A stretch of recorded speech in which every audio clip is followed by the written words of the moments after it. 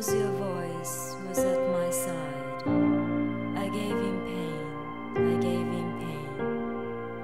Because within my hand I held your hand again, your hand again. There is no word, nor any sign.